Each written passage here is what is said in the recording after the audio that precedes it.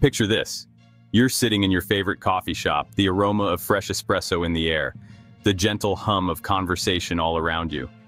Maybe you're catching up on emails, working on a big project, or just browsing the web, feeling productive and comfortable in this familiar, bustling environment. Suddenly, without warning, every laptop screen in the room flickers and goes black. Confused voices ripple through the crowd as people look up, startled and unsure of what just happened. But here's the strange part. The overhead lights are still shining, the coffee machine is still whirring, and the music hasn't missed a beat. Everything else is working perfectly, except for the computers.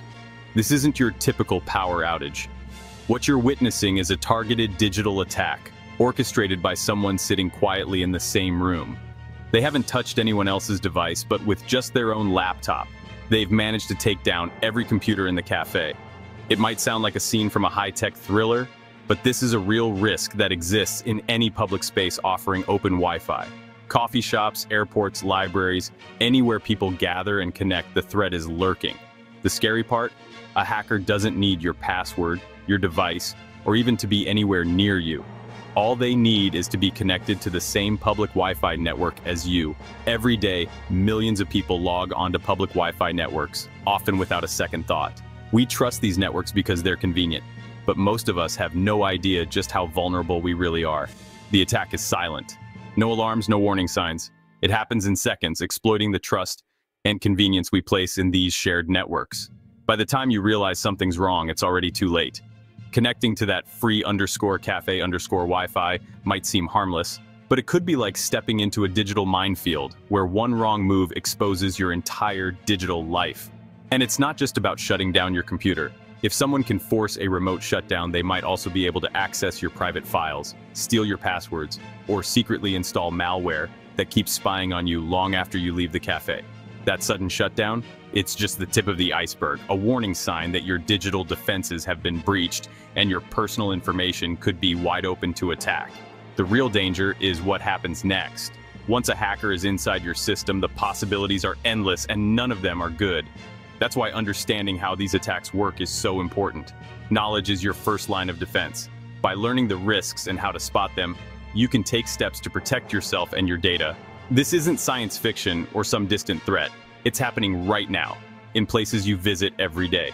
Consider this your wake-up call to the hidden dangers of public Wi-Fi. So, how does this kind of attack actually work? Let's break it down and see exactly how hackers can turn a simple coffee shop visit into a digital nightmare. Before we go further, remember this video is for education and awareness only. We're here to help you defend yourself, not to encourage illegal activity. Trying these attacks on computers you don't own is a crime with serious consequences. Our goal is to empower you with knowledge so you can spot and stop threats. The techniques we'll discuss are well known in cybersecurity circles. By understanding them, you can better protect your own devices. When the public is aware, software gets patched and users get safer, so as you watch, think like an ethical hacker. How would you defend against these attacks?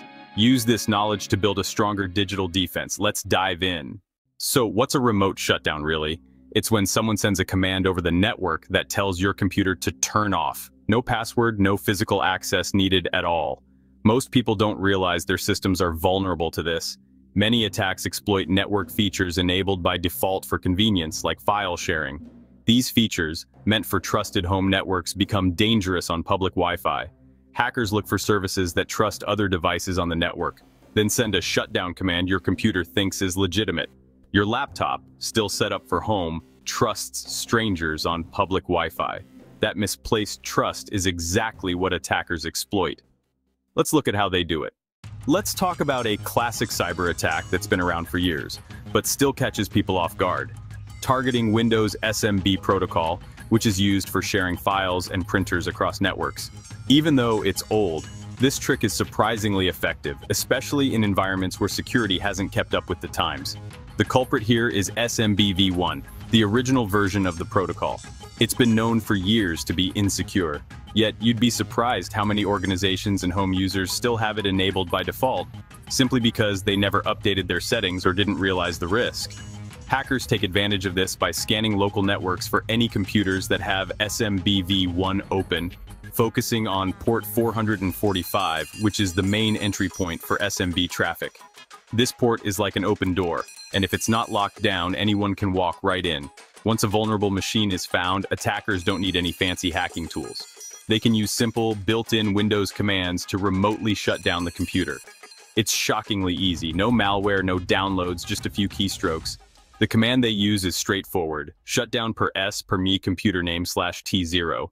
This tells the target computer to shut down immediately, without warning or delay. If your firewall isn't set up to block SMB requests and you still have SMBv1 enabled, your computer will simply follow the command, no questions asked. It's like leaving your front door unlocked and hoping no one tries the handle.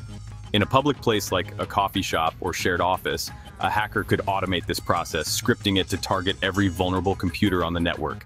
In seconds, dozens of machines could be forced to shut down at once. The result? Instant chaos. Work is interrupted, unsaved data is lost, and users are left confused and frustrated. For businesses, this can mean lost productivity and even potential data corruption. This attack is only possible because of outdated protocols and poor security practices.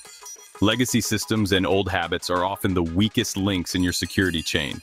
If you haven't taken the time to disable SMBv1 on your computers, you're leaving yourself open to this simple but devastating attack. It only takes a few minutes to fix, but the consequences of ignoring it can be severe. Don't let old software and forgotten settings be your downfall. Update your systems, disable legacy protocols, and make sure your firewall is doing its job. Stay one step ahead of the old school tricks that still work today. Another method uses a simple batch script and Netcat, a tool for sending data over networks. The hacker creates a batch file, just one line, shutdown per S per F slash T0. Netcat is set up to deliver this file to any computer that connects. The attacker tricks a victim into running the file, maybe through a malicious link or by exploiting another vulnerability. Once the file is on the victim's system, it's executed instantly, forcing a shutdown. In a group setting, this can be automated to hit multiple machines at once. It's fast, flexible, and doesn't rely on a single protocol.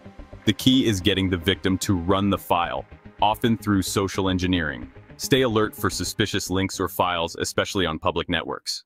For more advanced attacks, hackers use devices like the Wi-Fi Pineapple.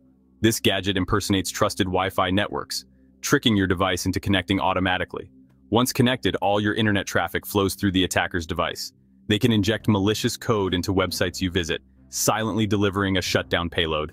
You won't notice anything until your computer suddenly powers off.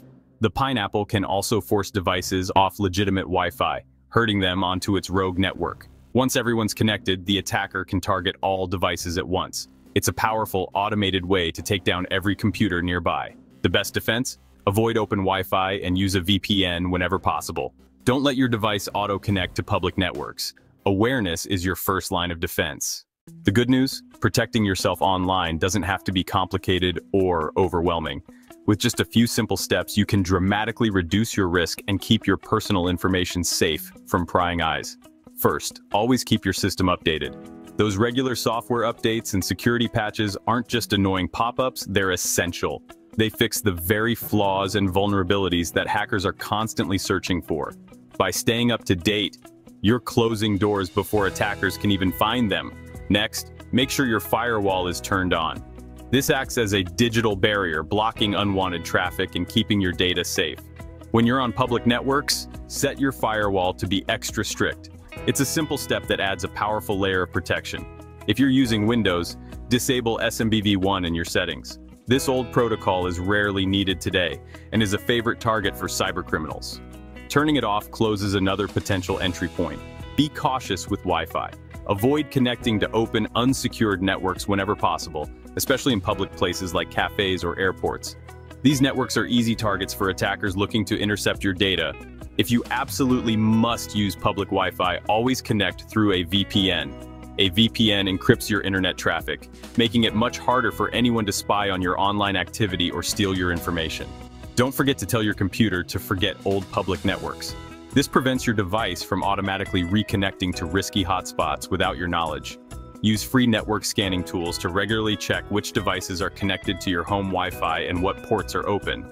This helps you spot anything unusual, like an unknown device or a port you didn't open, if you ever notice something suspicious, like strange activity or unexpected pop-ups, don't hesitate.